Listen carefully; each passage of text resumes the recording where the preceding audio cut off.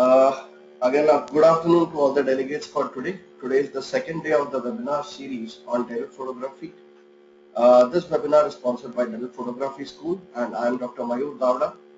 Uh, I've been lecturing at Dental Photography School since the past two years. I'm currently uh, practicing dentist in Bombay. My clinic's name is Home Dental Clinic. Currently, I'm the president, active president at Dental Photography School. Our website is www.dentalphotographyschool.in. Currently, I'm also the active director at The Dental Education having the website www.thedentaleducation.com.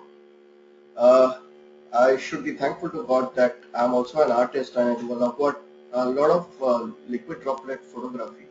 Uh, specifically, liquid droplet photography comes into the category of high speed and micro photography. So you can check out my artwork of uh, photographs of liquid droplets uh, on www.liquidcanvas.in. Currently, I'm the CEO of a company called Yellow Webinars and the chairman of the forthcoming World Dental Photography League. I've had my share of exhibitions, my, my share of art exhibitions, and probably the biggest one of them was Kala Ghoda, which happened last year in 2014. And I've had exhibitions at corporates as well. Of the biggest corporates that I've worked with is Deloitte. Apart from uh, conducting art exhibitions, I've also done art encouraging lectures. I do art encouraging lectures in schools and colleges across India.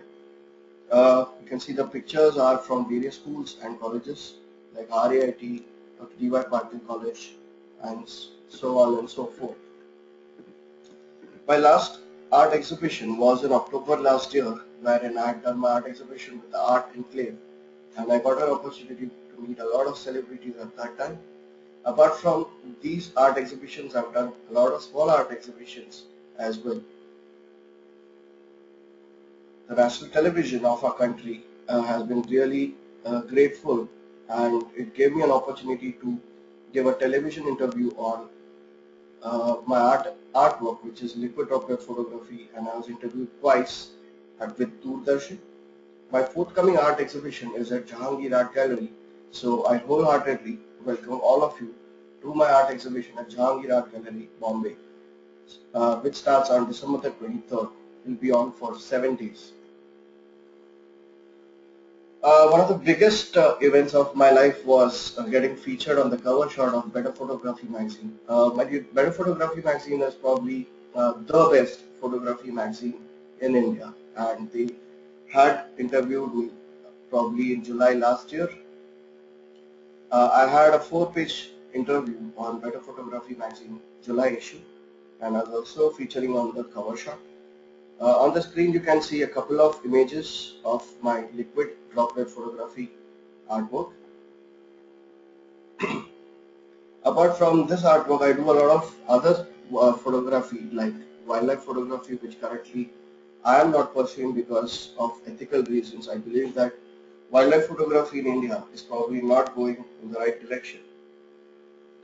I've had my images published in Lonely Planet uh, I'm sure you guys must be knowing about Lonely Planet. Uh, it's probably the largest travel magazine worldwide as of today. I've published several articles uh, on uh, dental magazines as well, like you can see in front of your screen. I've published articles for Dentcare Dental Magazine, the experts, and also write articles for IDA Times. Apart from these, I've had several publications on national newspapers like DNA, I have been doing citizen journalism since the past two years. Apart from that, I have won several awards, especially with Sanctuary Asia and a, a lot of other competitions. I thoroughly enjoy herpetology photography, that means photographing snakes. Uh, coming on to dental photography school, uh, the dental photography school was launched uh, two years back and since then I've been the president of dental photography school Touchwood things have been going really bright and I've got an opportunity to interact with a lot of dentists uh, in India. I have done dental photography encouragement lectures at Faridabad, Pune, Surat, IDA and various other places. Apart from conducting uh, dental photography encouragement lectures, I do a lot of workshops which are three-day workshops in which we have live hands-on demonstration like you can see on the left-hand side image, uh, wherein we teach the dentists how to do the right kind of dental photography. We make them use the right kind of equipment so that they can get a feel of how ideal dental photography is to take place. Somewhere in the last year, is 2014, I got an opportunity to be a part of Portuguese Dental Association's Dental Art Photography exhibition. So this is one of the very unique things that has been going on abroad and one of my images was selected over there. So probably this was the image that uh, I had sent to Portuguese Dental Association's Dental Art Photography uh, exhibition.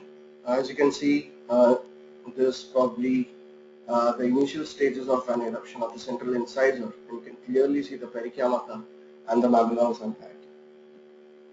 So I really request all the dentists who are attending today to follow the passion of dental photography wholeheartedly so that you get recognized worldwide because of the kind of work that you are doing. Uh, this uh, this slide is about uh, the alumni of the students who have attended the dental photography workshop, which was a three-day uh, complete hands-on workshop uh, conducted at Bombay. this is what they had to say about the dental photography workshop. Uh, one thing I'd like to say over here is that this photography workshop is about enjoying dental photography completely. It's not a typical workshop uh, which is related to the clinical topics. It's a full-fledged photography workshop and we not only teach about extraoral and intraoral photography but uh, we do speak a lot about other kinds of photography like macro photography, wildlife photography and stuff like that. So it's kind of a fun-filled uh, three-day workshop which uh, you should probably look forward to attend. Uh, the dates which have been put up for this year, the forthcoming workshops are April, August and December. We do take our delegates outside uh, typically so that uh, like you can see in front of you the April and the December workshops are holiday event workshops.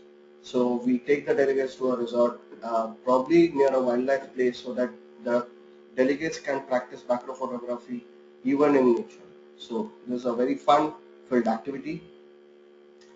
Uh, the curriculum for the three-day hands-on photography workshop is in front of you. Uh, it starts right from the introduction to dental photography. We teach about the camera, we teach about the camera settings, what are the ideal settings.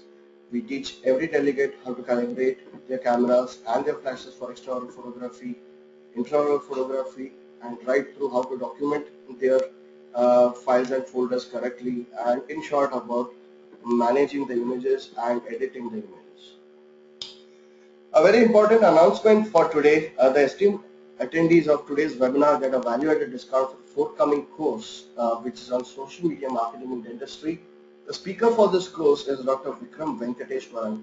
He is a great teacher, he's a marketing guru and a dentist. So this course is actually priced at rupees 2900 but only for the delegates who are attending today the course has the course fee has been slashed to 1500 only so if you wish to attend or register for this course do let us know uh, we'll be really happy to have you in this session so moving on to our webinar for today today's webinar in choosing the right helping every dentist to choose the right equipment for their photography. In this we'll be speaking about camera selection, the lenses and the flash systems. Uh, for the people who had attended yesterday, uh, we've spoken quite a bit about camera selection already. So today we'll be focusing more on the flash and the lenses. So let's move on to today's webinar. Uh, essentially what I've developed uh, in uh, dental photography for the dentist to understand uh, about how to go about buying dental photography equipment is called the reverse concept. Uh, it is a concept that will ensure that you make choices about uh, purchasing the right kind of equipment for dental photography. It is a concept with a vision. Uh, currently in front of you there is a Japanese proverb which says vision without action is a daydream. Action without vision is a nightmare. This holds so true even when you're buying the dental photography equipment. Just suppose if you've bought a dental photography equipment, equipment without vision and uh, then you probably don't know how to use that kind of equipment. So it does turn out to be a nightmare if you do not buy the right kind of equipment. Or probably if you wished that you wanted a particular kind of image uh, that you had seen somebody else take and you probably went ahead and bought some kind of equipment and that kind of equipment is probably not helping you take such pictures that you had seen. So uh, when you probably don't buy the right kind of equipment, there are high chances that uh, what you purchase does end up like a nightmare for you. So what is the vision in dental photography? Uh, taking amazing photographs, documenting your cases very well, yes, very much. It, it has to be a part of your vision. That vision has to also build up your practice and lastly, you have to mature as a visionary dentist who is well known for his expertise. So this is the kind of vision that we are looking for even in dental photography. Uh, current goal for today is to make brilliant dental photographs and how do we do that? Uh, firstly, we need to have a basic knowledge of the kind of equipment which is available in the market, extremely important, and then learning the right kind of dental photography or probably learning how to use that equipment so that you can get the images that you love to take, that you've seen others taking and you want to take those images by yourself.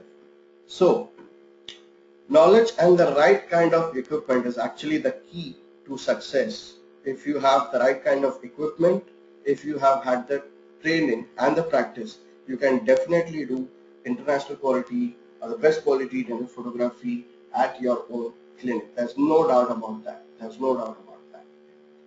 Uh, moving on to the next slide, uh, this slide might be a little difficult for the beginners to uh, understand. Uh, usually I get this question very frequently on my emails and people keep on asking me what is the right kind of camera, which is the best camera to buy for dental photography.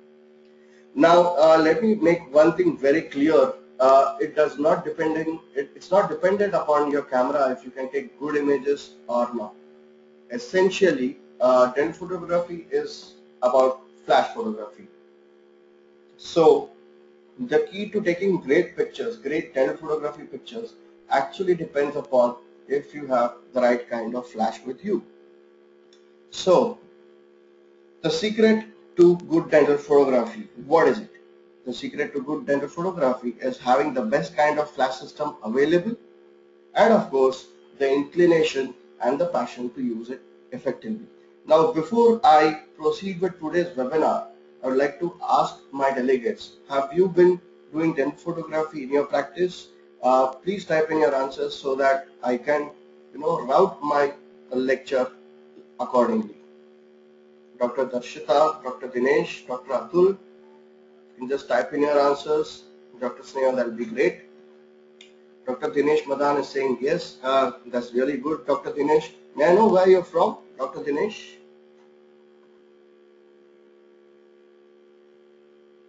Gurgaon, great. Uh, great to have you uh, for today's webinar, Haryana. I was glad I conducted uh, one, uh, uh, you know, one-day workshop at one college in Haryana. I'm sure you must be knowing about uh, Sudha Rustagi College.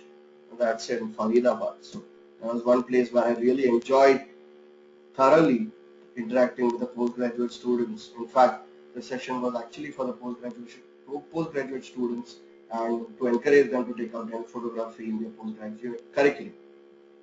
Right, so what is the kind of flash system that you're using uh, at this point of time, Dr. Dinesh? Do you have a flash system, a dedicated flash system?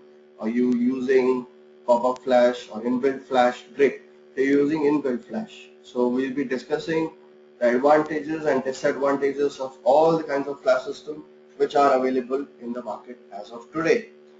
So uh, which is the ideal kind of flash which is available and uh, which is probably the best kind of flash to be used for dental photography? Uh, I'm sure you must be having this question uh, and we are here to solve this question for you today. Ideally, I personally believe that uh, when a dentist wants to buy a flash, he thinks about three important things. One is, of course, how expensive or inexpensive that flash is.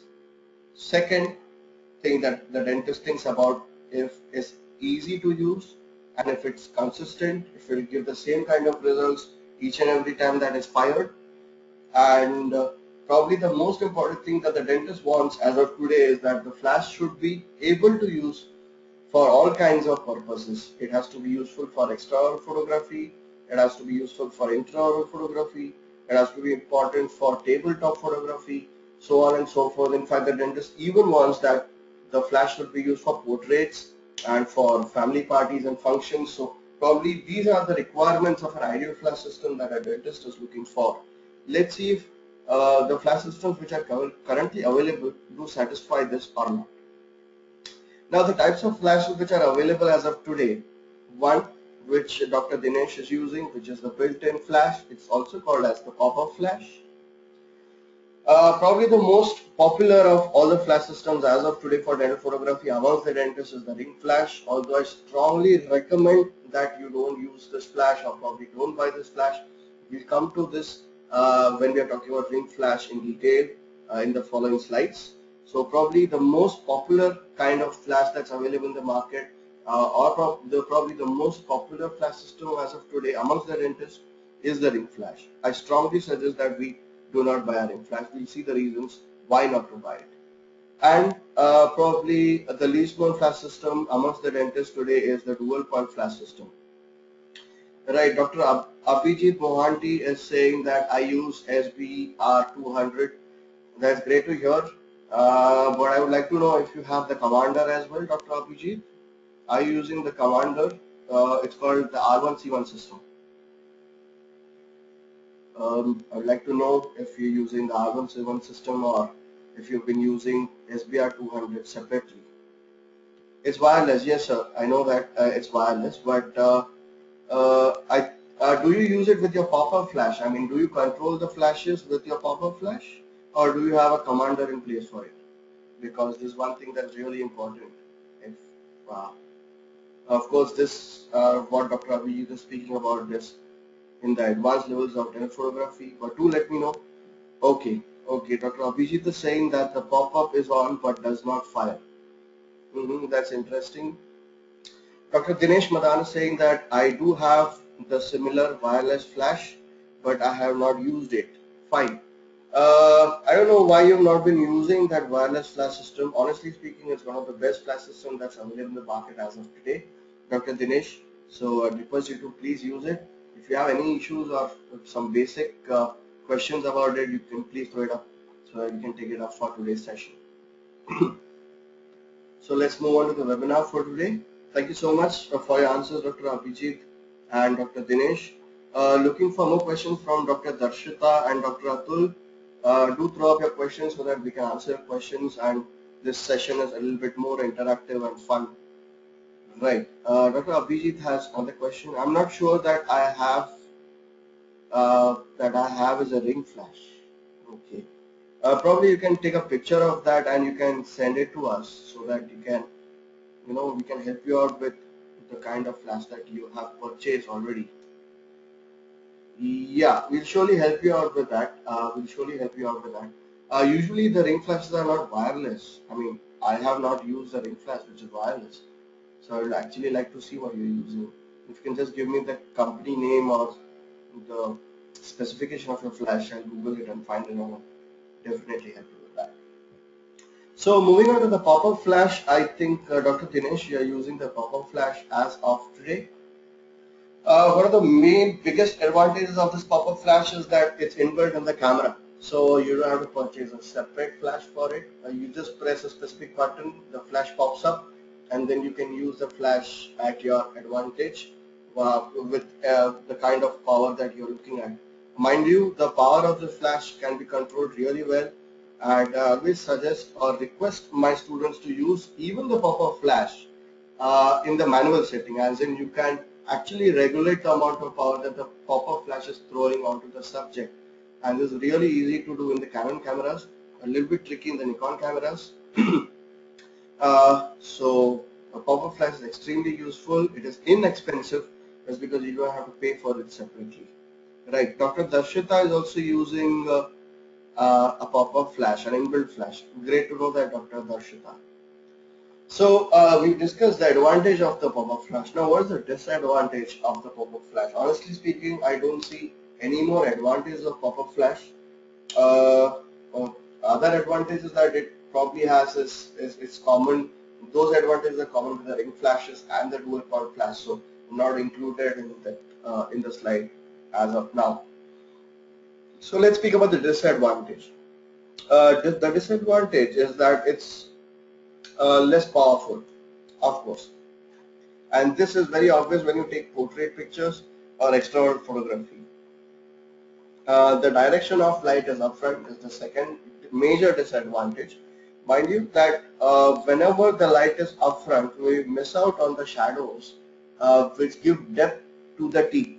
So uh, if you can understand during afternoon times, uh, uh, whenever a person is going out and if other person is looking at that person, that we say that the depth is lost because the light is coming from all the places. So we can't basically appreciate the shapes and uh, the figures in that case. So that is why we say that the morning sunrise period is a very good period. That's because the light is coming sideways. So whenever the light is coming from the side, is going to give good dimensions to our object, no matter what that object is.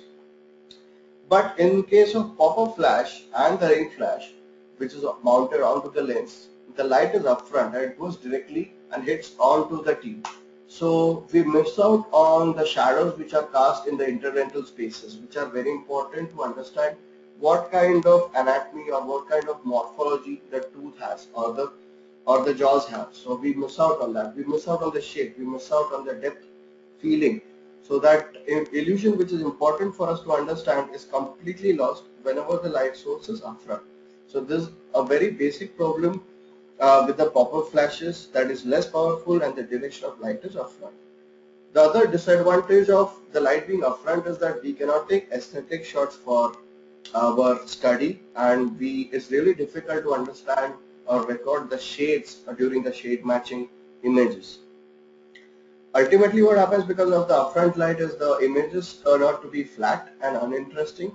There are harsh uh, reflections from various weird places like the incisal edge uh, where definitely we don't want a reflection to happen. Uh, so there's a major disadvantage of an upfront flash. So even a ring flash is an upfront flash. So the disadvantages of pop-up and ring flash more or less remain the same. Also many times what happens is the, the position of the pop-up flash is on top of your camera.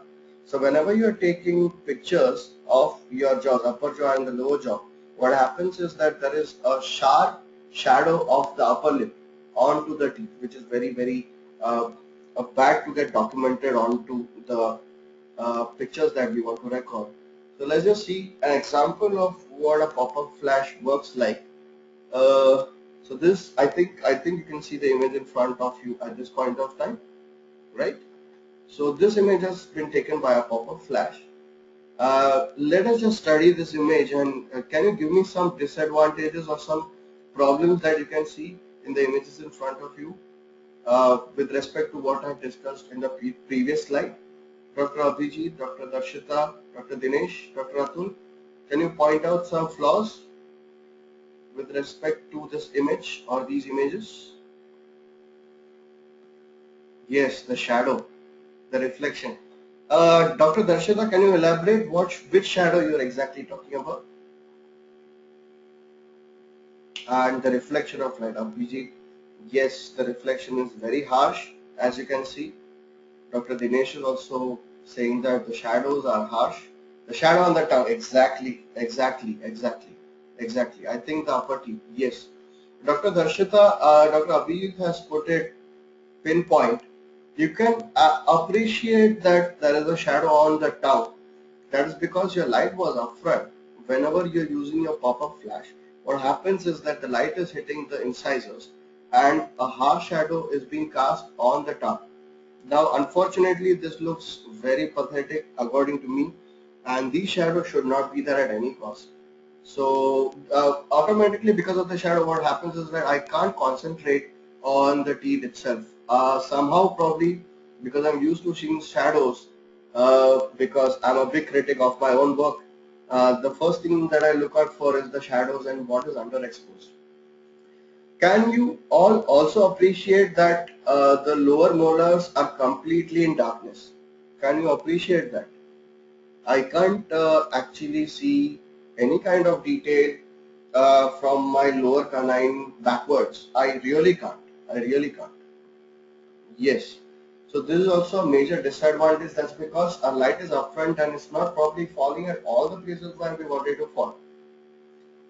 So do we have control? Would you say, uh, my delegates, my dear delegates, would you say that this flash is uh, flexible with respect to uh, how we can position the flash or it's or you say that or you support my statement that the flash is just stuck on your camera and your capacity to do a lot has been come down. What would you say about this? I personally believe that uh, your scope is very restricted when you come to a pop-up flash. Very restricted. The second one. Yes definitely. So thank you for all your answers. As you can see, uh, you can't do a lot of experimentation with a pop-up flash and there are harsh shadows. The light is too strong on the central incisors and it radically reduces as we go towards the posteriors. The reflections are very harsh and uh, uh, you can say uh, all kinds of stupid shadows coming at all the places which are also important for us to document. So uh, Pop-up flash can be used during the initial stages of your practice or probably you can say that uh, when you're just learning how to use a DSLR, please go ahead with just using the pop-up flash so that you can get used to or feel how flashes are functioning. Try to use the flash even in the manual mode. Uh, when I'm saying try to use the flash in the manual mode, what I want to stress upon is that you should be able to control the flash power and please kindly do not put it on automatic. Why? It's because there is a scope for you even in the pop-up flash to actually regulate the power. I request you to please regulate the power manually.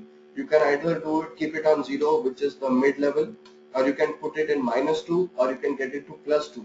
So this kind of feature is available in your DSLR, be it any kind of DSLR yes, of course, uh, uh, I'm not sure if you guys know that uh, uh, pop-up flashes are not available in extremely expensive professional DSLRs. For instance, a full frame camera like uh, 5D Mark II, it does not have a pop-up flash. So if you have a pop-up flash in your DSLR, definitely you have the features like you can regulate the flash power. I request you to use it effectively. Now, uh, there is a way to bypass the kind of harsh shadows uh, that you're seeing on your screen even with a pop-up flash. Can you give me one small suggestion as to how I can reduce the shadows? One or two, if you can share that with me. I would definitely help you out with reducing the kind of shadows that you're getting even with a pop-up flash. I'm not saying that pop-up flashes are completely useless. I do believe that pop-up flashes are good. They are very good, but provided you should know how to use them correctly. Honestly speaking, I believe that if you're planning to if you're planning to buy a ring flash, please don't buy it because pop-up flashes are as good as a ring flash. Are as good as a ring flash. Can you give me one suggestion uh, to reduce the kind of shadows that we have got in the image in front of us? Check retraction if possible. Extremely good point, Dr. Dinesh. Extremely good.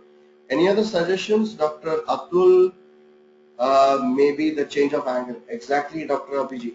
Uh, one very, very uh, good thing that Dr. Abhijit has stated that uh, during the process of making images, when we make an image, we have to concentrate on which place we are getting the shadow.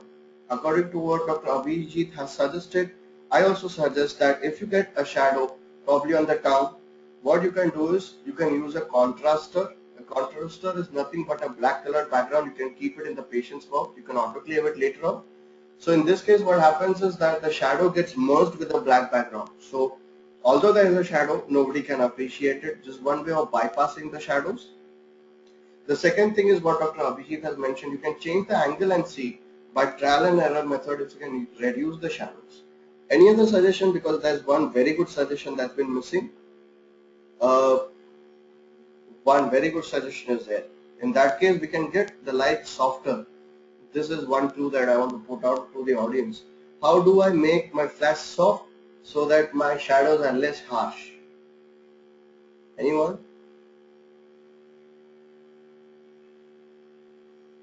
you all must have gone to a photo studio. They have something for that. Using any filter, switch off to switch off the chair light. Uh, Dr. Darshita, I would not suggest that you switch off the chair light because it does help us uh, focus on the teeth nicely. But the suggestion is that you keep, do not put it directly on the teeth or the jaws. You can probably uh, put the light on the chin so that a little bit of light spills onto the teeth and that helps us uh, focus our images or compose our images better. So yeah, very good suggestion by Dr. Darshita. But uh, using a filter for getting soft images is probably not the right thing to do. Have you guys heard of something called a softbox or a diffuser ever? Uh, this is one thing that is really going to help you reduce the harsh shadows. Have you heard of something called a softbox or a diffuser or bouncers? Have you heard of something like that?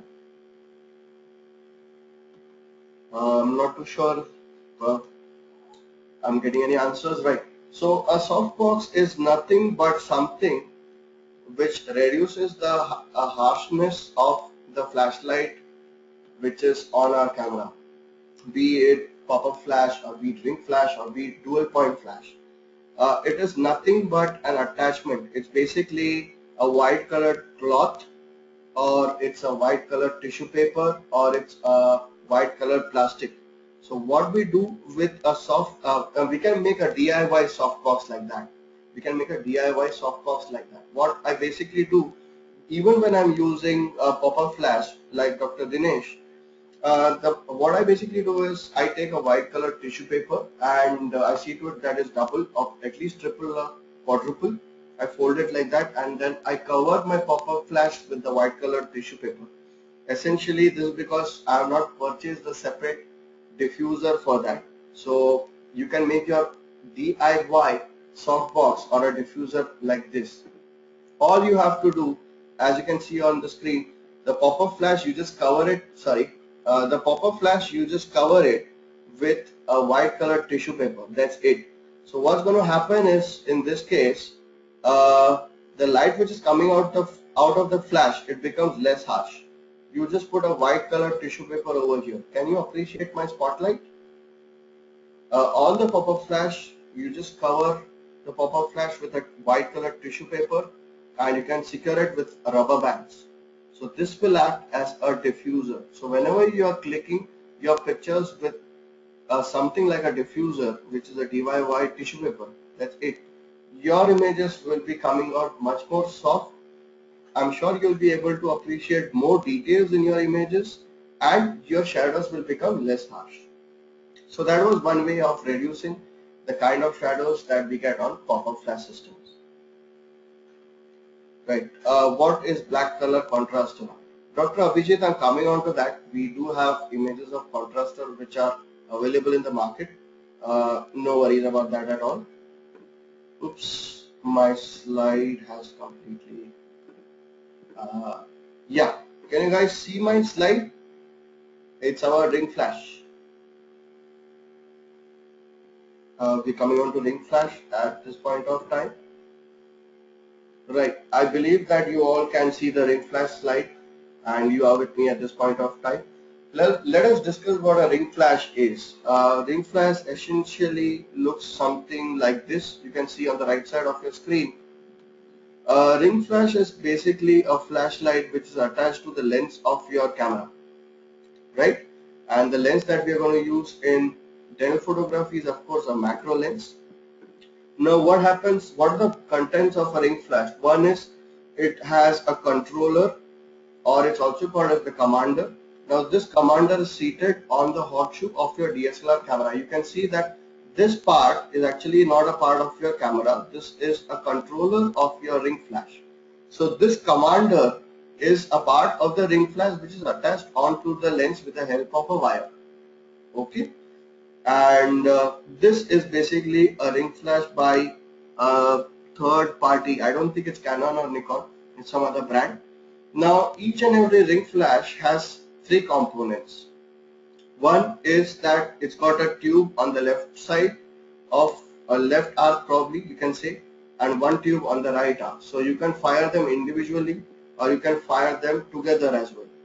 Another component that it has is a steady source of light which you can use for focusing better on your images. It is basically an added advantage so that in case of darkness you can still see or use these continuous sources of light and focus effectively. So this is how a ring flash looks like. Uh, now let us look about uh, the advantages of a ring flash. As compared to a pop-up flash, a ring flash is definitely much more reliable and it's much more powerful. The other added advantage of it compared to a pop-up flash is that, like I said, it's got uh, individual elements, one on the left and one on the right. You can fire these individual elements as per your requirements. So this is a good flexible option that a ring flash provides over a pop-up flash. Mind you, I personally do not feel that ring flashes are way too superior compared to a pop-up. I believe that pop-up is much more better and ring flash is only for orthodontics. Uh, Dr. Abhijit is saying I have sent a photo and make of the flash on your mobile phone number. I want to confirm if I have one. Okay, uh, let me check on that. Let me check on that. Just give me a moment. Uh, uh, you have a dual point flash system, sir. Really good, really good. So what Dr. Abhijit has sent me is that he has a Nikon system and the flashes that he has is SBR 200. The ring that you have sent me is actually the adapter ring. It is just used for attaching the ring, uh, attaching the flashes onto the lens. So congratulations Dr. Abhijit, what you have is actually a dual point flash system. It's called a twin flash system also. Uh, but let's just be with the ring flash system at this point of time. Uh, this is a ring flash system again. Uh, ring flash system has a lot of disadvantages as well. Uh, we've already finished with discussing about the advantages. Now let's go on to the disadvantage. Now the disadvantage of ring flash is that this element, the, the right element and this element which is the left element, these elements are fixed. You can't do anything with them. You can't move it. Uh, you can't twist it. You can't turn it. Attaching another diffuser is very difficult. Attaching a bouncer is also extremely difficult. So these are a couple of practical disadvantages of a ring flash and I really do not suggest anyone buying a ring flash. That's because pop-up is equally good. Now what happens if these elements are fixed? Uh, can anyone tell me what happens if these elements are fixed? It's uh, one of the major disadvantages is that you can't do a lot of experimentation with this ring flash. The kind of consistency is always the same. The, the images that uh, will turn up will always look the same no matter what kind of experimentation you want to do with respect to your flash. Now this is very important for orthodontics. That's because they want a consistency or standardization with respect to the images. But to a dentist who is looking for uh, different kind of documentations like documenting aesthetic work, document, documenting good anterior composite work, uh, adhesive dentistry, uh, you want to understand the translucency of the images, the translucency of the natural teeth and the translucency what you've given on their adhesive work. So these kind of details are not possible to be uh, recorded by ring flash. Why? Because the ring flash is also an upfront flash and uh, recording translucencies is a big problem with the ring flashes probably because you can't attach diffusers or bouncers onto that. And another thing is that these flashes uh, don't move. The ring flash is always attached to a lens. You can't twist it, you can't turn it like you can do with a dual point flash system. I'm sorry. Yeah. So they are expensive is one major disadvantage. It is almost comparable to a dual point flash system. And they are very heavy. Yes, but this is not a problem as such because uh, when you get used to using ring flashes, uh, probably if you use it for a month, you'll not find that is really heavy. You just need to practice using a ring flash. And uh, the other disadvantage is that it's upfront and it gives unnatural lighting. Again, uh, what happens in these kind of flashes which are upfront is that uh, can you appreciate in the image of the upper and the lower jaws is that practically there are no kind of shadows uh, in between the teeth. In the interdental spaces also there, there are supposed to be a couple of shadows which give some kind of dimension to the teeth which are completely missing. Why? Because our flashes are upfront. So whenever the flash is upfront, we miss out on the shadows which are cast interdentally, the shadows which are cast near the gingival sulcus, so on and so forth. So it is upfront, it gives unnatural lighting and the shots that we take with the ring flash are boringly monotonous. I personally feel that they are very monotonous. I experiment more with a pop-up flash compared to a ring flash. So I believe that it's more exciting to work with a pop-up flash which is the inbuilt flash of your camera. So we have discussed the advantages and the disadvantages of uh, the ring flash at this point of time. Uh, so uh, another thing I want to mention over here is that compared to a dual point flash system, the ring flash system is a little less powerful. So what happens in this case is that although the light is reaching till the end, my depth of field is compromised. That's because if I want a good exposure, I have to compromise on the aperture value. So in this case, my depth of field is a little shallow compared to the dual point flash system. Now let's understand what a dual point flash system. To begin with, let us see how it looks first. I believe Dr. Abhijit Mohanty, this is kind of similar to the flash that you own. Uh, for the other people who could not see what Dr. Abhijit has sent me on WhatsApp, this was probably the kind of image that he sent me, but he just sent me the uh, flash system uh, on the camera. This is a typical dual point flash system which was sent by, uh, which which has been produced by Canon. I'm sorry. Uh, the kind of uh, dual point system is manufactured only by two companies. One is Canon and one is Nikon. So the people who have purchased other brand cameras have bad news that they cannot purchase dual point flash system of other companies. So there are only two companies who manufacture it. Sony does manufacture, but they are uh, but they are uh, sorry, their dual point flash system is extremely painful to use in telephotography because uh, they have very long arms.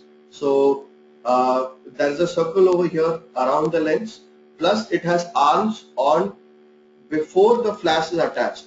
So it becomes painstakingly useless for me and I feel that is not useful for dental photography although it might be very useful for other kind of macro shots. Dr. Abhijit is saying in fact I asked for ring flash in Canada they gave me this one saying that it's ring flash. I think it's a lucky buy then thankfully uh, because you're in Canada they gave you something which was much more useful and that they do understand that ring flash is outdated at this point of time. So you're really lucky Dr. Mohanty and I'm sure that you must be using it to the best of its potential. So let's move on to uh, what is called a dual point flash system or a twin flash system. Let's discuss the advantages. One, it's extremely versatile uh, in the sense that uh, if you can appreciate in the picture, if you can appreciate my pointer, uh, this flash is by Canon and uh, I have this flash and personally I love this flash I can move my flash in three axes. I can move it behind forwards. I can move it up and down around the circumference of this ring. If you can appreciate my mouse, mouse pointer, I can move it around the circumference of the ring also. I can move it, twist it behind also, forward also. And then I can turn this head on the left and right. So these kind of movements are not possible with any kind of pop-up flash or any kind of ring flash. This is possible only with a dual point flash system uh, by Canon or Nikon. I have not used Sony flash system because it has got very large arms and I feel that's not useful for dental photography. So it is extremely versatile and these flashes are extremely important if you are doing aesthetic work. Uh, they are extremely accurate and there is a huge permutation and combination which is possible with the kind of movements that these flashes or flashlights enable a dentist uh, to perform. You can actually twist and turn the complete flash system as and when you want. In fact, you can also turn it around and put the flash on you. So it's as flexible as that. Another major thing that I want to talk about is that these flashes are extremely, extremely powerful as compared to a ring flash and also a pop-up flash. So that's a very good uh, thing about a dual point flash system that they are very powerful, the controller is very very accurate and they provide for a high degree of standardization. Uh, just like uh, just like a ring flash that I showed in the previous slide, Canon dual point flash has a source of continuous light. Canon dual point flash system have a source of continuous light. I'm sure, I think uh, Dr. Abhijit, SBR200 does not have this continuous source of light. Correct me if I'm mistaken, but SBR200, which is the system by Nikon, does not have this continuous source of light. And I personally believe that this continuous source of light is important in two things. One, even if your uh, chair light is not on, you can put this continuous source of light on and still focus effectively on your on the patient's teeth. Yes, it does not happen. And uh, the other advantage is that it is useful for recording good quality videos also for uh, uh, dental uh, photography or dental videography you can say. So these continuous sources of light are extremely handy and uh, very useful. That is why I feel that Canon system is very very good compared to a Nikon system. We're coming on to that slide now. So uh, and it can be used, the last advantage of course is that it can be used for inanimate photography also. When I'm talking about inanimate, I mean it can be used for tabletop photography uh, in tabletop photography dentistry, you can say taking pictures of the cast, taking pictures of the prosthesis and stuff like that. But what are the disadvantages of this? Uh, the disadvantage of a dual point flash system is that they are expensive and they are heavy. These are the only two disadvantages that I could think of. But trust me, they are not expensive because they are a lifetime investment. Probably they are as expensive as the kind of mobile phone they are using. In fact, it is half the cost of iPhone 5s, right? So they are a lifetime investment and they'll always be with you. They are very faithful. So don't think of it as being expensive. Think of it as a good investment for yourself. They are heavy, yes, but they are equally heavy compared to a ring flash. So there's no way that you should be thinking about buying a ring flash.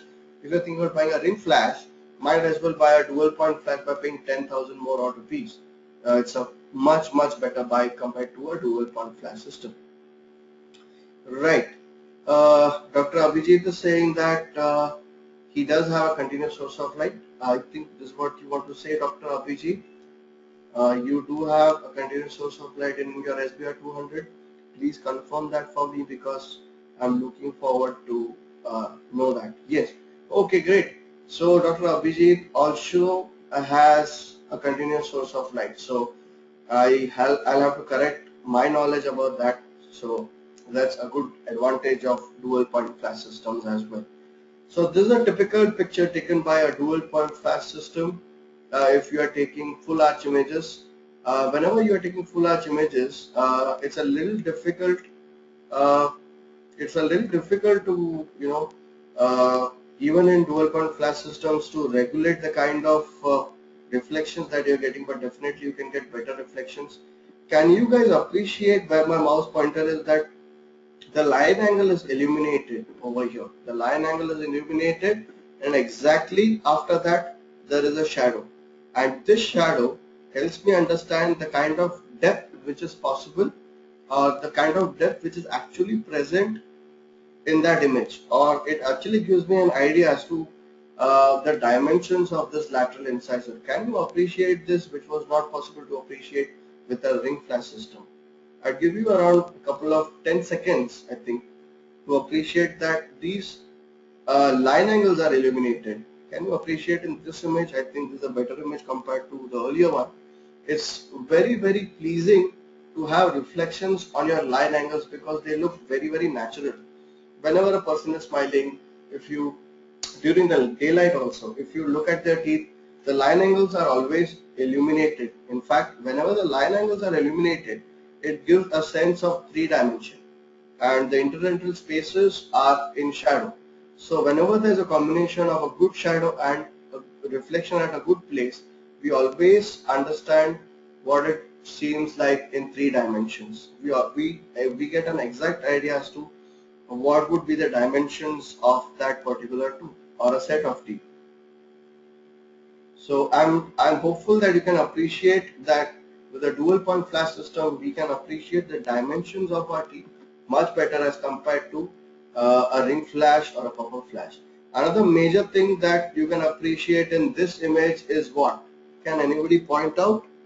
It's a very important thing for aesthetic dentistry work, for adhesive dentistry, and uh, to understand this is very simple. You can just point it out for me. I'll be really grateful to you. Uh, anyone?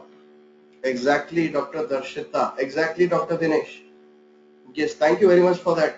Uh, this is very, very important in adhesive dentistry and in good cosmetic work. You can appreciate translucency much, much better in a dual point flash system as compared to as compared to a pop-up flash or uh, a ring flash.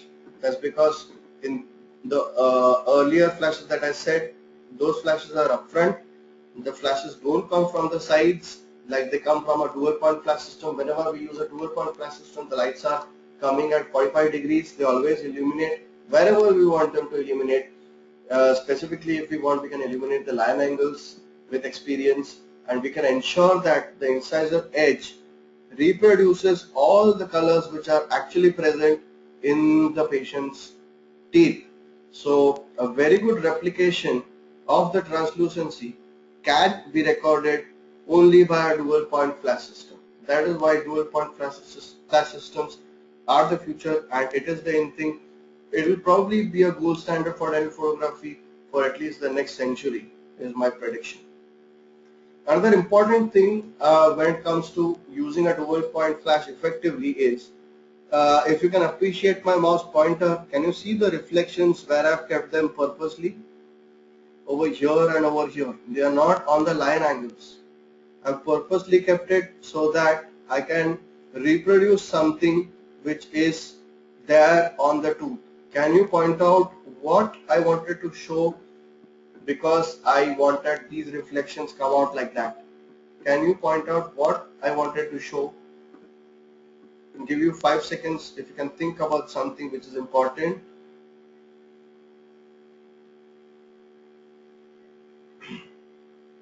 Yes, yes, yes, exactly, exactly.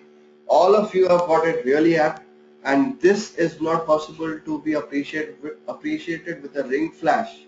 It is possible very easily with a dual point flash. All of you have already given correct answers.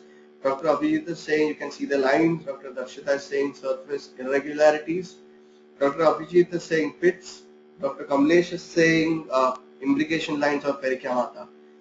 Uh, can I collaborate all of them and say that my surface texture is very well reproduced in this image? Can I say that?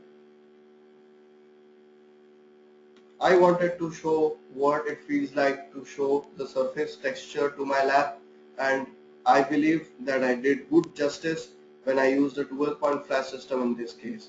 Usually all the surface textures are missed in an, up, in an upfront source of light. Uh, you know what happens in an upfront source of light is that you can't expect to get shadows. Can you appreciate my mouse pointer? See, there is a reflection over here and immediately after that there is a shadow again a reflection again shadow reflection shadow reflection shadow again on the left hand side incisor central incisor of the patient you can appreciate that there is reflection and then shadow reflection shadow reflection shadow this is possible only if you can actually logically think that the lights are coming from the side just imagine if the lights would be coming up front would we get such shadows on the teeth? It's practically not possible. In fact, the shadows would have been burnt out completely. We would have not got any shadows if the light was up front. So, in order to get good surface texture reproduced in our images, we have to ensure that the light comes kind of tangentially on the surface of our central incisors. Can this happen? You tell me if this can happen uh, with a ring flash or a pop-up flash? I'm waiting for an answer. Can we put our lights tangentially to the surface of our central incisors with a ring flash or a pop-up flash? The answer is expected from you. Never, not with a ring flash. Exactly. This is very important to understand. That's because you have to understand the capacity of the dual point flash before buying it before just going in for a blind purchase, uh, you have to understand what you want out of your dental photography. Honestly speaking, if you are an orthodontist at this point of time, it will not matter to you because it's not important for the orthodontist to record the surface textures. That's because probably they don't do a lot of aesthetic work. If you are an orthodontist and if you're still doing aesthetic work, I should be really proud of you. Uh, but if if you are doing aesthetic work and if you expect that you will get such kind of images with a pop-up flash and a ring flash, you're completely mistaken. If you want such images, if you want to do good work, if you want to understand the surface texture correctly, if you want to understand the translucency, put it up on a big screen, both for your patient and for yourself, the kind of flash that you require is most definitely a dual point flash. I'm very sure that I'm, I was convincing or probably I was able to help you in understanding that the dual point flash systems are the best flash systems which are currently available in the market as of today. So do you all agree with the statement that is in front of your screen at this point of time?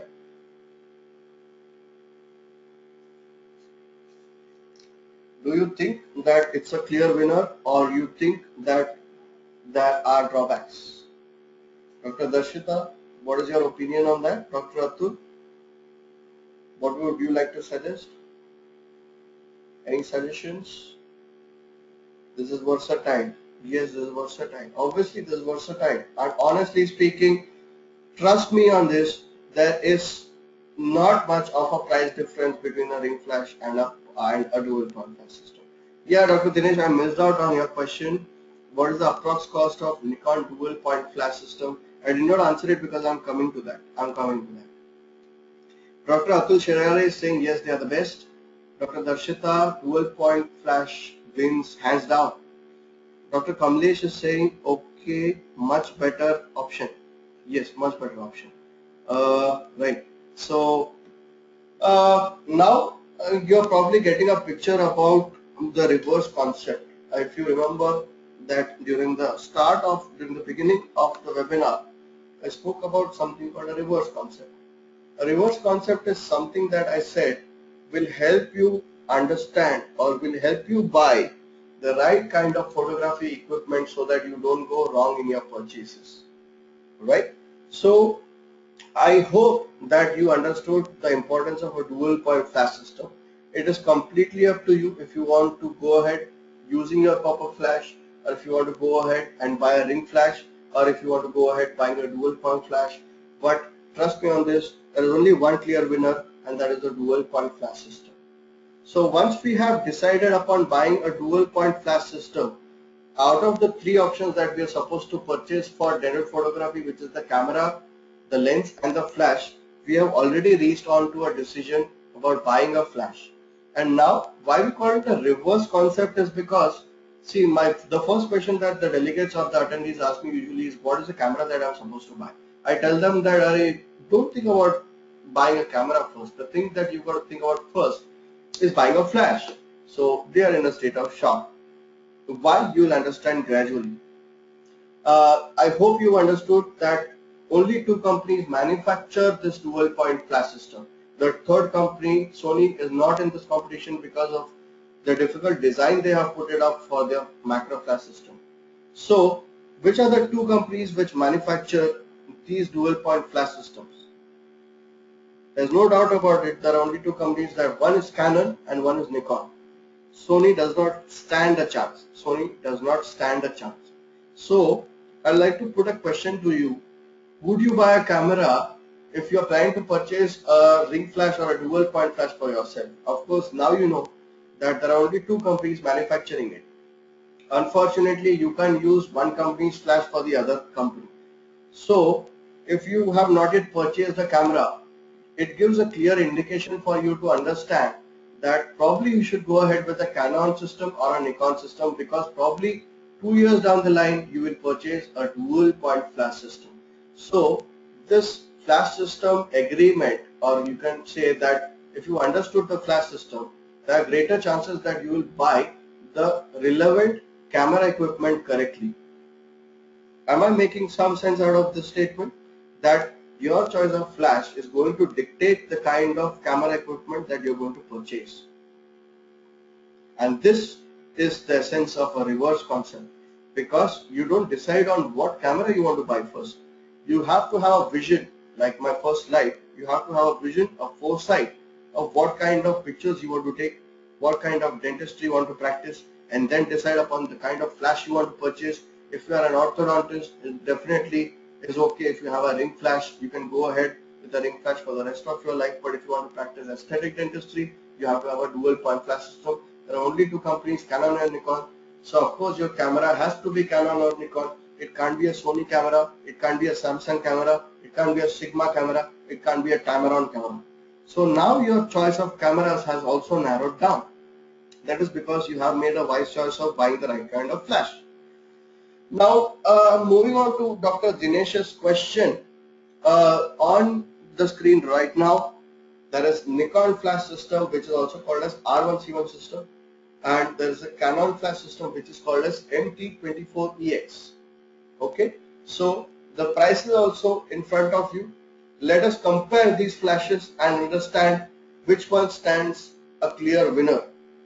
So let's just go on to that. Approximate value of a Nikon flash system which is R1C1 or SBR 200 is 40,000 rupees.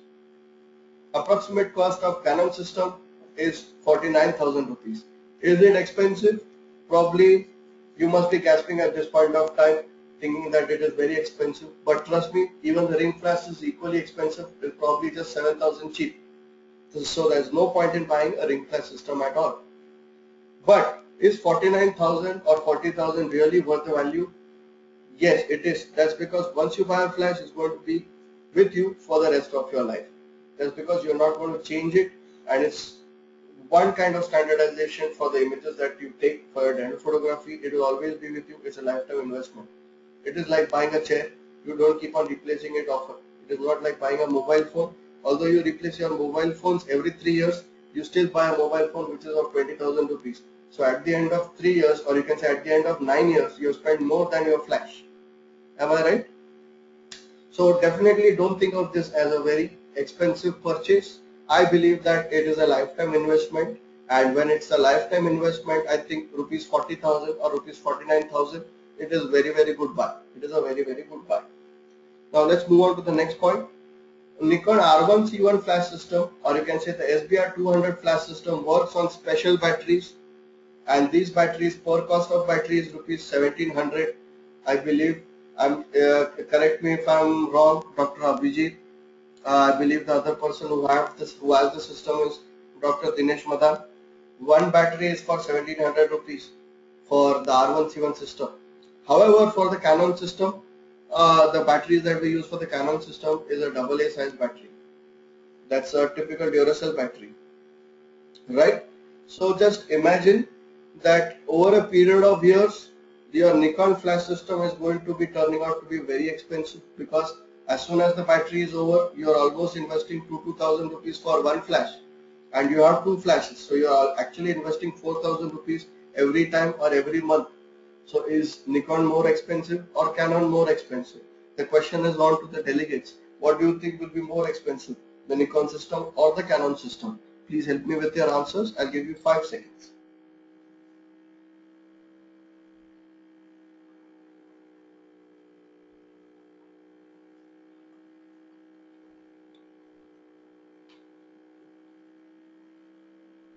Yes, so absolutely Nikon is more expensive. Uh, Dr. Kamlesh is saying that Canon is more expensive. Honestly speaking, I do not understand that. That's because over a period of 9 months you will understand or probably regret why you bought a Nikon system. Don't have an option. Uh, Dr. Dinesh is saying don't have an option. Have a Nikon camera. So I have to go with the Nikon flash system. Uh, I'm sorry Dr. Dinesh if I would have conducted this lecture a couple of years back I would have saved you out of this. Uh, Dr. Kamlesh is saying I meant Canon is a better option. Yes, Canon is a much better option. Dr. Abhijit is saying touchwood my battery for SBR 200 has not exhausted since I bought it in 2009. That kind of probably speaks as to how frequently or infrequently in fact you're using your flash system, Dr. Abhijit. So uh, I think it's very clear that uh, uh, Nikon flash system is going to be very very expensive over a long term. Now you will ask me probably the next point. Is a rechargeable option available in the Nikon system? Yes sir, it is available. Dr. Abhijit, Dr. Dinesh, don't get disappointed. Uh, rechargeable options are available, but the bad news is that they are impossible to find in India. On the other hand, the Canon system which has a AA battery, it obviously we have rechargeable AA batteries. So uh, the problem with Nikon is that one, the batteries are not easy to find and even if you happen to find the rechargeable option, it's going to cost you a bomb. Now I believe that uh, the fourth point is one of the most important points when it comes to choosing the company. Uh, in case of an emergency, suppose if there is an emergency, you have lost out on your battery and you have no other option. In case of an emergency and you have a dead battery, can you use a AA battery, Dr. Dinesh? Dr. Abhijit, can you use a AA battery for SBR? Can you answer my question? Suppose if you are clicking pictures and your battery has exhausted, can you use a AA battery? No. Abhijit, doctor, you there are no options. You have to use that specific battery that Nikon has probably trapped you with. There is no other option. You can't use a AA battery along with the SBR 200 system. Dr. Kamlesh is asking what do you mean by ETTL and TTL function? Uh, an advanced level question, but I'll come to that at the end of the conversation if you don't mind. Uh, but continuing with in case of an emergency or a dead battery, Dr. Abhijit and Dr. Dinesh, is bad news. Uh, in case of Nikon, you don't have any other option, but you'll have to switch on your pop-up flash and your documentation is going to suffer if your battery is getting exhausted. But the Canon users rejoice. You can also use a Duracell battery and the Duracell battery is going to work really well and it also lasts very long. Moving on to the next uh, point, although uh, the price difference of 9000 rupees between Nikon and Canon, you might feel that Nikon is economic, but trust me, in nine months or a year, you will understand that you paid much more than a Canon person. Uh, another uh, major advantage or disadvantage probably if you think, I personally believe that a wireless system is unreliable. Is a wireless system is unreliable as compared to a wire system. I would always prefer my landline or I would always depend upon my landline more in my house for the phone compared to my mobile phone. Because even in my mobile phone there is network issue but this does this ever happen with a wired system no that's because wired system are much more reliable the chances of accidents are less so I would personally prefer that wired systems are much more better. They are much more accurate and they fire always. Now coming on to Dr. Kamlesh's question, what do you mean by ETTL or TTL? Uh, the full form of TTL is basically through the lens. It is a metering system. It is a way by which the camera has to understand the exposure settings. There is something called an exposure meter in your camera, in each and every camera. It is like a weighing scale there are uh, there are numbers on it like minus 2, minus 1, 0, plus 1 and plus 2 just like your uh, you can say x-axis and the y-axis this is just the x-axis so this is the basic x-axis and this is the meter the TTL function of every camera is basically governed by a sensor and this sensor tells the camera if your image is going to be underexposed, properly exposed or overexposed. Wherever a system is wireless, you can trust me for this, that the system is going to be inaccurate. And Nikon systems are quite inaccurate. Whenever I've used it I've, I've found out that sometimes the flash fires sometimes the flash does not fire. It is probably because it is wireless and sometimes your commander is not sending the actual signal so that your uh, uh, flashes can fire does this happen with the wire system of Canon no never it is wired the commander will the signal of the commander will always reach the flash and the flash will fire consistently like an AK-47 machine gun. There is no doubt about that. There is no second thoughts about that. That Canon is much more uh, easy to use, it is much more accurate and it is very much repeatable. Now when we do dental photography, already the patient has retracted the cheeks, the patient are probably not finding it a little more comfortable. Just imagine uh, if one flash has fired in your Nikon system, the other flash did not fire. This is uh, very uh, bad for the patient because you will have to keep on taking a lot of pictures until both the flashes are firing. Does this happen with Canon? No, because they are wired and both the flashes are controlled by the controller itself. There are no buttons on the flashlight as against there are too many buttons on the Nikon system. The SBR 200 flashes have I think three buttons and all three buttons have three functions. So if you go ahead with the permutations and combinations of the kinds of groups and stuff like that, you possibly land up with more than 27 or 54 combinations of your flashlights, which is really confusing to the dentist at this point of time. Already the dual point flash system is more confusing and when you put an SBR 200 in front of the dentist which has 3 3 buttons, 4 4 buttons and so many combinations, the dentist gets more confused. I find it difficult to explain it to the dentist how to use it effectively I think it's an over purchase or over features. These features are not required in dental photography. So many buttons are not required in dental photography. In dental photography, you want just simple settings and something that you will be able to execute on a daily basis. Right. Uh, the another thing uh, that's a major disadvantage if you have so many buttons and so many groups is that it's not easy to remember all the settings that you had for your pre-op pictures that is why standardization is compromised. On the other hand, in Canon, there are no such group functions, no such permutations and combinations. Everything is controlled by the controller which is put up on your camera and that is why there is a high amount of satisfaction with respect to the standardization with which you can achieve with the dual point flash system of Canon. Moving on to Nikon again, wireless so it can be kept anywhere in the room. Yes, there is one good advantage that Nikon has to offer that your flashes are wireless so probably even for an extraoral photography they are very very good. However, the uh, the Canon system is a wired system, right? So the flashes will always be attached to the camera only and you can't place it separately. So they are a little less effective for extraoral photography. However, if you want to place your SBR, yes, you can also hold it in your hands, Dr. Abhijit. Uh, but even Canon can be held in your hands, but that's a little cumbersome. You need to have assistance for that. Or probably Dr. Abhijit, you can buy light stands. Light stands and a flash adapter for your flashlight. Uh, but you have to see to it that the SBR 200 flashes, they do not uh, support uh, hot shoe. Their stands are a little different. So you'll have to ensure to tell your camera dealer that give a cold shoe and not a hot shoe. So you can place these SBR 200 on the light stands and uh, uh, the light stands are of various companies. You can go in for Sonia. It's a good company. Go ahead with buying light stands of Sonia company. Just buy a good uh, light stand. It is a light stand. L-I-T-E, light stand or L-I-G-S-T, light stand. Let me just answer that on chat window. Yeah. It's a light stand and uh, you can purchase it from any photography equipment shop and you can use this. They are basically the same stands that a professional photographer is using to put the studio lights. They are the same stand.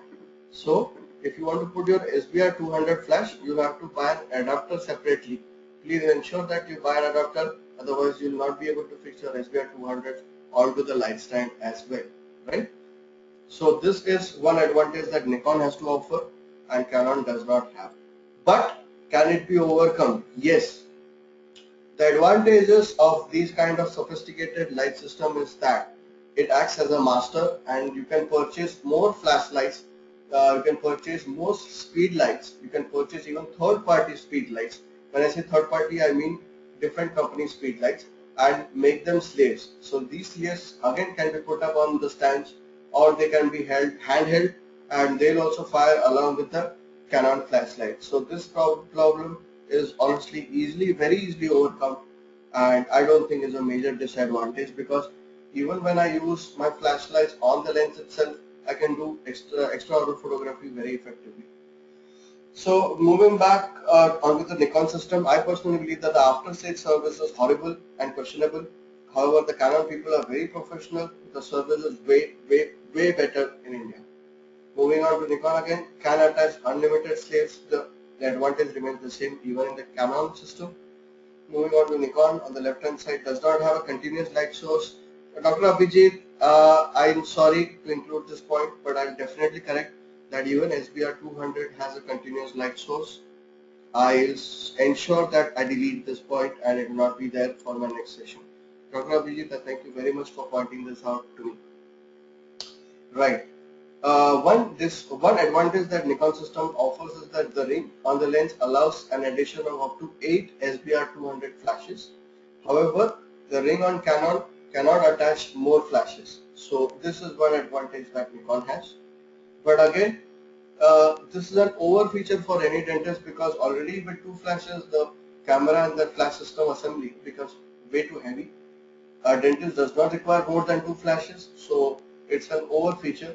If you want to do any kind of photo, any other kind of photography like glamour photography or fashion photography probably you might think about buying other SBR 200 flashes. But definitely it's an over feature. Trust me on this even one SBR 200 flash I think is for 10,000 rupees. So I would not suggest buying another one, but if you really want to buy, you can go ahead with that. The major disadvantage of the Nikon system it has is that it's got too many buttons on top of the flash. Too many buttons, just too complicated to understand and just not for the dentist I believe. Uh, another issue with this is that if you have a bouncer or if you have a softbox that you want to attach onto the SBR system, or even if you want to just tie a rubber band onto sorry try it uh, if you want to put a DIY soft box like if you want to tie a tissue paper and if you want to tie it with a rubber band these buttons get pressed very easily.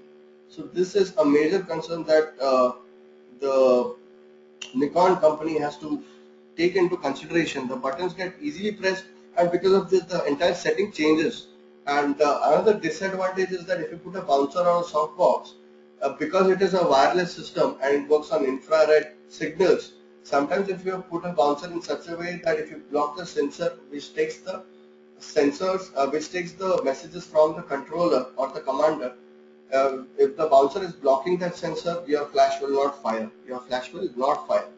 Now a bouncer is also uh, something that diffuses the light. It is basically indirect lighting. So in this case, if I'm using a bouncer, uh, what happens is that I will not put the flash directly onto the tee. I will put it exactly opposite to that and I'll place a hard plastic which is completely opaque which is white or you can also attach a white colored cardboard. It's basically a reflector. It reflects the light onto the teeth again. So bouncer is nothing but a reflector. It, it reflects the light of the flash and you, it throws it back onto the teeth.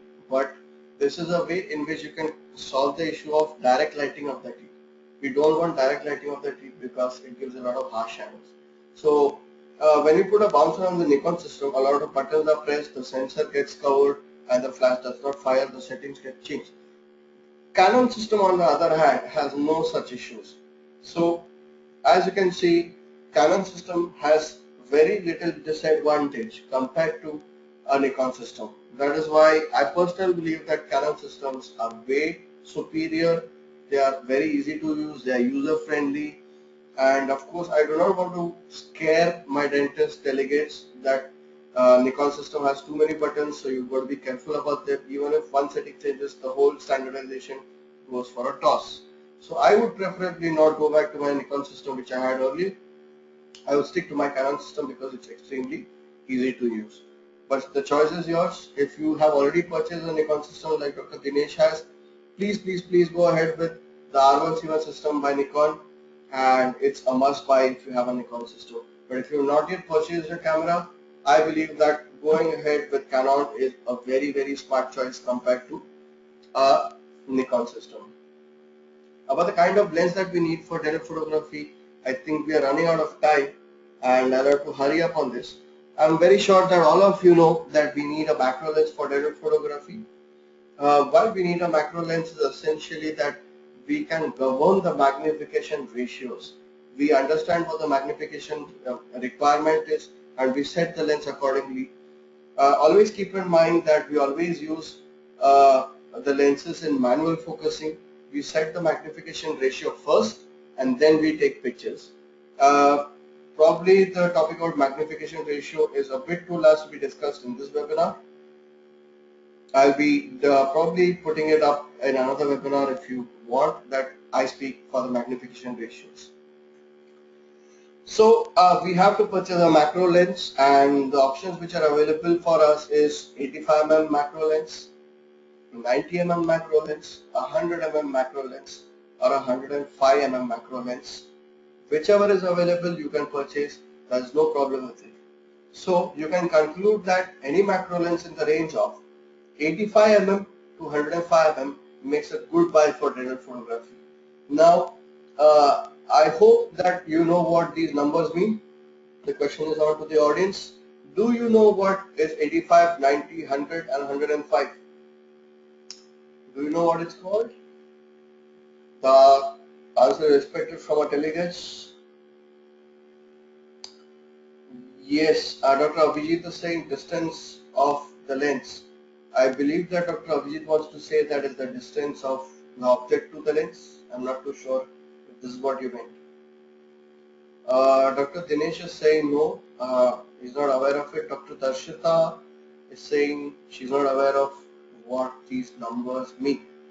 Okay, so uh, just in a nutshell, because even this topic is very last we discussed for this webinar, uh, 85 mm, 90 mm, 100 mm and 105 mm or you can say can I also say 8.5 centimeters, 9 centimeters, 10 centimeters and 10.5 centimeters. Can I say that?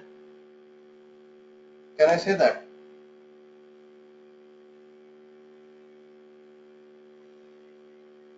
It's just a distance, right? But can I use the term centimeters? Yes, yes. Logically speaking, yes, and technically speaking, no. That is the answer to my question. So, yes, logically speaking, 85 mm is exactly equal to 8.5 centimeters, 90 mm is 9 centimeters, 10, 100 mm is 10 centimeters, 105 mm is 10.5 centimeters. Yes, I can use these terms, but I don't because my camera dealers will not understand what I'm trying to say. So what I'm trying to say about these numbers is that it is called the focal length. It is the focal length of the lens. Focal length governs how much of the object is visible onto the sensor, right? So uh, basically it's the focal length of the lens.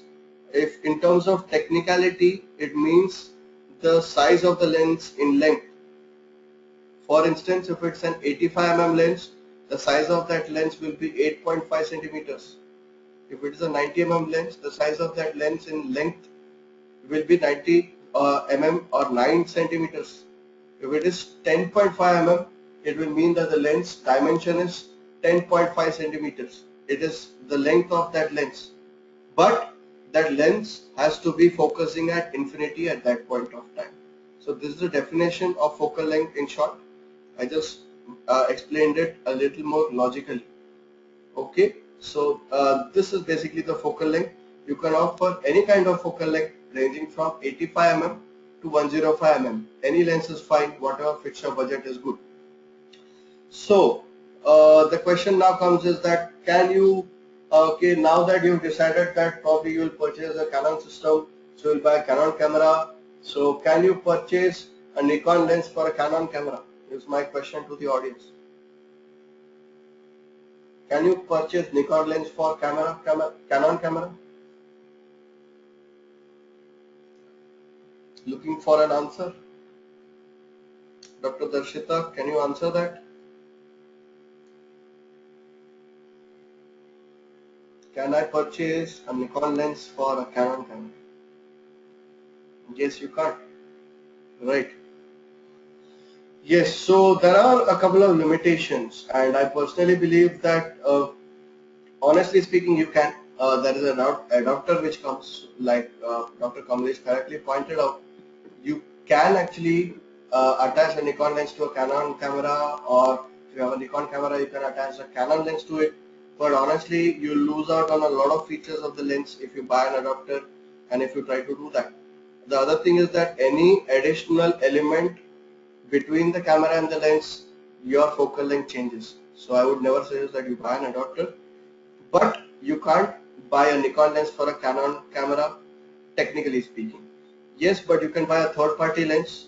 You can buy a Sigma lens for a Nikon. You can buy a Sigma lens for Canon. You can buy Tamron lens for uh, Canon you can buy Tamron lens for Nikon you can buy Tokina for Nikon Tokina for Canon and uh, n number of permutations and combinations Why buy a third party lens? It depends upon your budget. If you are comfortable buying the same company lens, please buy that same company lens because there are a lot of features which get uh, which are usable with the same company. If you are loyal to the same company, a lot of features are active. But if you buy a third party lens, you miss out on a lot of features. But it but if you really ask me, does it matter in digital photography? No. That's because in digital photography, I use my lens in manual focusing. Most of the features that my lens is offering to me, I don't use at all. In fact, I have purchased an L series 100mm lens, which was of Canon, and I believe that I should not have made a, a heavy investment. I would have, I should have gone for a non-L series lens by Canon itself. The price difference is huge but the quality difference is less. But my question to the audience is there are some lenses like 18105 lens, 75300 lens. Okay, so uh, 18105 this is one lens, 75300 this is the second lens. 18105 has 85, 90, 100 and 105 all these values in it also. 75 300 lens has values 85, 90, 100, 105. But should I buy these lenses for dental photography? That is my question. This is one question that students frequently ask me. Dental professionals frequently ask me. They ask me if they can use 18105 lens for macro photography or 75-300 lens for macro photography. Can, they, can these lenses be used for dental photography ideally?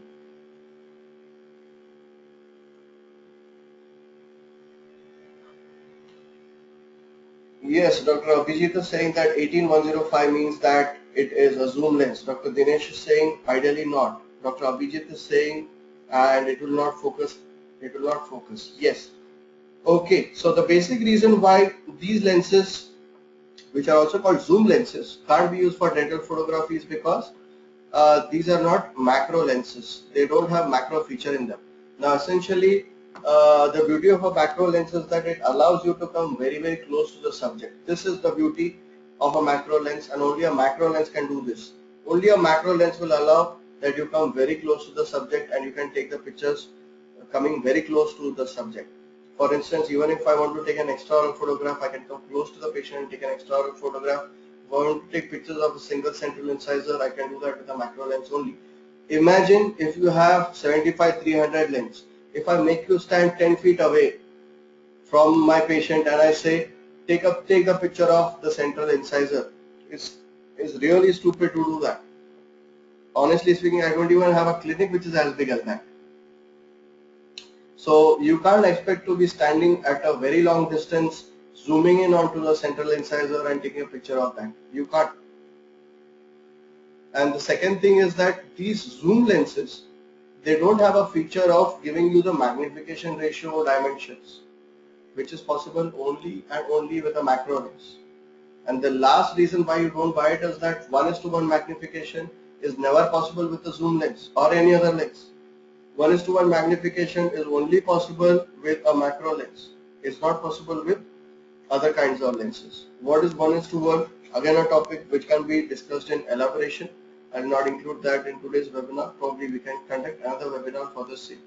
All of you are most welcome to email me and tell me or suggest me for future webinars. If you want that I should discuss a particular topic, I'll be more than happy to conduct a webinar for the same. I'll request the dental education, I speak to the president and then we can keep webinars for the same.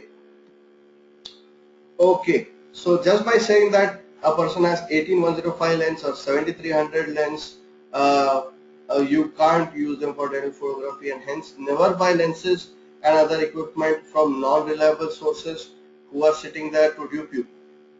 They will say that even this lens has a 100 mm in it. So please don't go ahead and buy these kind of zoom lenses.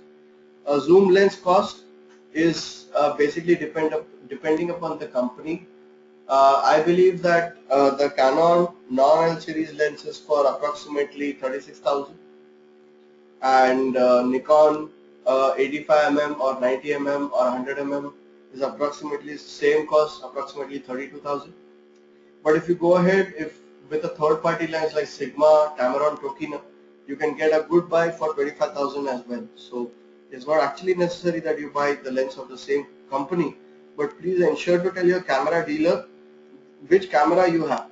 Otherwise, they will give you a macro lens, which is of some, uh, probably they'll give you a macro lens for Nikon if you have a Canon camera. So you can buy Sigma, Tamron, Tokina, whatever fits your budget, no problem with that.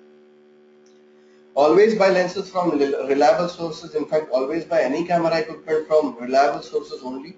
Two good online sources to buy are Photomed, which is a company based in uh, UK, I believe, and Dental Photography School, which is my company. We are, we are going to start an e-platform very soon for the dentists so that the people who trust Dental Photography School uh, they can buy equipment from our uh, dental photography school itself. So this is typically a macro lens uh, right in front of you at this point of time. This is an L series lens by Canon. It is the lens that I own. It is the premium quality lens. Honestly, I feel that it's an overbuy. You need not buy this lens. A non-L series by Canon is also good. The only difference between the non-L and this lens uh, I personally believe is the stabilization which I never use. My stabilization is always off. Obviously the glass used in a premium lens is very very good. So if you have that kind of money to purchase this lens, most welcome to buy it. I have bought this lens because I do uh, other kinds of macro photography. So I need crystal clear, extremely sharp images that I can make prints of of the size of billboards. So that's why I've gone ahead and purchased a premium lens. Considering an ideal situation as our benchmark, uh, since we have rounded up on a Canon flash system, I would prefer always to buy a Canon lens that's because a couple of features uh, of a lens like camera Tokina, they are not available to work with our Tamron. So I would obviously prefer Canon lens. Another major drawback of a third party lens like Tamron, Tokina, Sigma is that they are externally focusing lenses. In the sense, if you move your camera lens for focusing, the lens elements come out. They elongate and they go back inside when you are trying to focus. Now these lenses are called external focusing lenses. Imagine that you have attached a ring flash system or a dual point flash system in an external focusing lens. If you keep on rotating it, it's a little cumbersome to use because it might touch the it might touch the patient when you are taking one to one images or the patient might feel scared that the flash system the, the flash system is coming close to them or it's going away from them so in this cases even a standardization goes for a toss the amount of light entering the jaws will keep on changing if you are moving your lens if you are trying to focus your lens does this happen with Canon uh, no, because Canon lenses are internally focusing lens. Even if you keep on rotating the dial to focus, uh, the length of the lens remains the same, irrespective of what kind of settings it is. So I will always prefer the same company lens like Canon. If I have Canon, I'll buy Canon lens, and if I have Nikon, I'll buy a Nikon lens. Dr. Abhijit is saying in later webinars you can discuss aperture, ISO, shutter speed, exposure, compensation, white balance, etc. Uh, Dr. Abhijit, just a request, please give me only one topic at a time so that I can implement it very easily. Just give me one topic, uh, uh, let me know exactly what you want to know about it and I can keep a webinar on that uh, as early as tomorrow. In fact, I can keep a webinar tomorrow, the day after, whenever you want it. You can even give me a date. We can keep a webinar on that day, not an issue at all. Good depth of field. Great great topic. In fact this probably you can say an advanced topic so it will not be a little useful for the beginners but definitely. Uh, let's keep a webinar for the depth of field Dr. Abhijit. Do let me know the date and time. We'll definitely schedule a webinar for depth of field for you in the forthcoming webinars. Do email me. Moving back to our webinar for today so uh, we've discussed about the lenses so what we have discussed so far is that we are going ahead with the Canon flash system. So if you want to buy the same Canon lens, there are two options. Either you have an L series lens or you have a non-L series lens. Now an L series lens is very, very expensive. A non-L series is probably a good buy for any dentist across the globe. So you can say that you have narrowed down to the flash and now the lens. The only thing that is remaining now is a camera if you don't have one and we have already discussed about the camera selection in our last webinar so I'll not be talking too much in detail about it. We have already discussed yesterday that the camera's main classification is based on its sensor size. Megapixel is a marketing gimmick. Please do not go for it. Do not fall for if a camera has greater megapixel, it's a better camera. Please do not do that. Always depend or ask about the sensor size with respect to the sensor size, there is a full frame camera, APS-H sensor, APS-C sensor and APS-C sensor for Canon. So if you have purchased a Canon flash or you're planning to purchase a Canon flash system, Canon lens, you'll have to buy a Canon camera. For that you have, you don't have an option of APS-C sensor general category. So you have only three choices. Based on your budget, you can go in for any camera of your choice I personally prefer that an APS-C sensor Canon small sensor size is a very very good buy for any kind of dentist because we honestly speaking do not need an APS-H sensor. APS-H sensor is a big sensor. Definitely we do not want a full frame sensor because we are not going to make huge billboards of our dental photography and uh, I think it's very heavy to use and it's an overbuy for dental photography.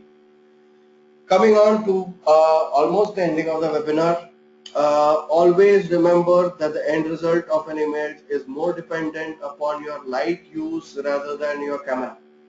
Always and always insist on a good flash system, then later on a good lens and last and the least important is your is your camera. Always remember flash is the king, lens is the queen and camera is the jack. Other handy instruments, I think somebody did ask me about what a contrastor is. The image on your left hand side is about contrastors. They are nothing but black colored backgrounds. Honestly speaking, even if you don't have contrastors, you can make your own like I do. I don't have contrastors, uh, so many contrastors. I think they are very expensive and overbuy. So this uh, semi-lunar shaped contrastor is for occlusal. I believe they are the most useless contrastors. Uh, the tongue shaped projections out of it are for uh, buccal buccal contrastors. They are called buccal contrastors. Uh, and the spoon shaped contrastors are actually contrastors for your anterior aesthetic shots. Right? So they are very good for adhesive dentistry. Oh, I'm sorry. Now the mirrors are very very important. Always insist on good quality mirrors. Uh, obviously the best quality mirrors are uh, rhodium coated titanium coated or chromium coated. All these mirrors are extremely expensive. Always insist on front coated mirrors. Now typically every Indian dentist must have heard of a company called Capri and most of us might be using Capri mirrors.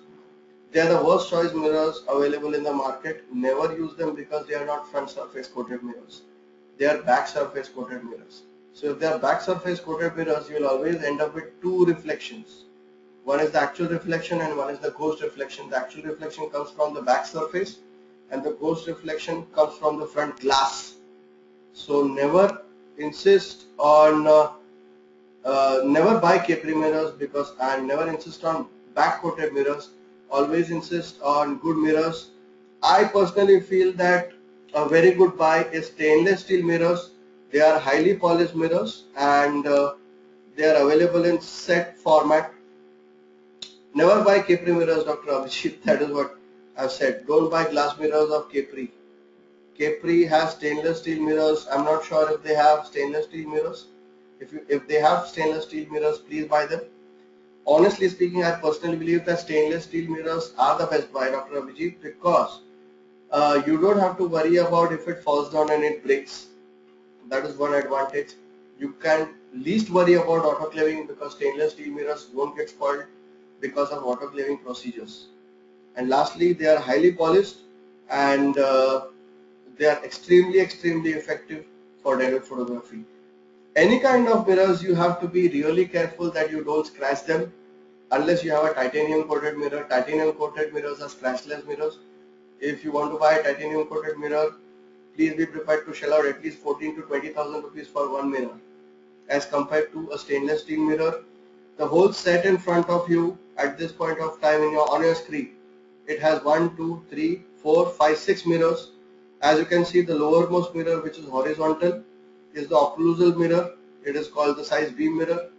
The one on its left is a pediatric dentistry mirror. Again, this is also for occlusal shots only. The mirrors in the center on top, they are buccal mirrors. They are used for uh, taking pictures of probably you can say Angle's classification type of occlusion. Those kind of mirrors you can say when the patient is in maximum intercuspation position. You can use these mirrors for that. And the ones on the extreme corners. They are useful for quadrant wise taking images of the teeth in fact if you've done a cavity restoration and stuff like that these mirrors on the extreme corners are very useful for them compared to occlusal mirrors because the patient feels least uncomfortable with them. Uh, the stainless steel mirrors are available with dental photography school. Uh, in fact we have certified uh, photography mirrors for dentistry the whole set in front of you right now is only for 5000 rupees. So if you want you can order them. You can email it to us that you want them. We'll deliver it at your doorstep. Uh, Dr. Kamlesh is asking the image reflected from stainless steel mirrors seems to be slightly different. Is it is it the same? Honestly speaking Dr. Kamlesh I've been doing or using stainless steel mirrors from the past five years and uh, till date nobody is able to point out if they are titanium mirrors or stainless steel mirrors. So it's never possible that the stainless steel mirrors give a different kind of an image. It has never happened to me. If it is happening to you I would suggest that uh, you probably look into the matter with respect to the angle at which you are taking the image. I believe that it can be a flaw of the angle at which you are taking an image because of which there might be some kind of distortion. So please uh, look into the matter or if if you're not satisfied with the answer probably you can email me a particular image in which you felt that the image is a little faulty. I'll try to look into the matter and get back to you. Yeah so this is the kind of uh, mirror set that dental photography school has to offer to its delegates. If you want to place an order most welcome. We'll be sending it across to you. The most important equipment for dental photography I personally feel is that uh, good retractors you should always and always insist on good retraction techniques. And if you want good retraction you should never buy the self-retracting ones which are the U-shaped ones which are uh, in which the left and the right sides are connected to each other. They are passive retractors. They will not uh, put a lot of force onto the cheeks. They are uncomfortable and to use also. And uh, sometimes they are not transparent. I always insist that my students or my delegates use these retractors which are transparent and they can be held by the patient himself or herself. The patient is not comfortable holding it, the assistants can hold it. The best part of it is that the angle uh, in which the retraction has to take place can be very well controlled by the cheek retractors. Uh, the assistant can control that for you and the amount of force which is to be put for retracting the cheeks is can be very well controlled by these retractors which is not possible with the self-retaining kind. Again, I would insist at this point of time that please do not use colored retractors because they are in fact a crime to be used. Uh, it is really wrong of any dentist if they have colored retractors like yellow, red, blue, violet and whatsoever. You get in all rainbow colors, please stop using it. Always insist on transparent retractors. Preferably do not use metal retractors again because they reflect light back onto the lens because of this you might get a lens flare. This will be reflected onto your lens and this will compromise on your contrast. So please do not use metal retractors because they reflect back onto the lens. We do not want retractors which do this. I think I have almost reached the end of my presentation for today and you all are satisfied with the quality of content that I have put in today's webinar if you have any comments on the same you, you are free to email me you are free to call me. Uh, I think I had given my number earlier. I'll give my number again. My number is double nine two zero four two zero three one seven. This number is my personal number. If you want to contact me at any point of time most welcome. Thank you Dr. Abhijit. Uh, Dr. Abhijit is satisfied it was sheer pleasure listening to you, Dr. Dinesh. Thank you so much. But before I conclude for the day, I would like to show a couple of images that are expected out of a dentist. Honestly speaking, and sadly, I do not even spare my pediatric dental patients of dental photography. Honestly speaking, I feel that they enjoy photography more than adult patients. So do not think of pediatric patients as difficult candidates for dental photography. It's definitely wrong. Honestly, uh, in the first appointment or in the second appointment, first appointment I do not do anything in pediatric dentistry cases. My first appointment is always about building a rapport with the child and my second appointment is probably about taking an x-ray or probably doing dental photography. They really enjoy dental photography. In my second appointment, I take external pictures and uh, in my third appointment, I take intraoral pictures. By the fourth appointment, the child is very comfortable and he sits on his own on my dental chair and he asks me, what are we going to do next today? What pictures are we going to click? Dr. Uh, Darshana is asking me my number again. I repeat it for you. Uh, double nine two zero four two zero three one seven. In fact, I have already written it in the chat window. If you can check it out, double nine two zero four two zero three one seven. This is my personal number. You can email me whatever you want. You can WhatsApp me anytime. I'll get back to you. Right. So these are the kind of images that you can expect with a dual point flash system.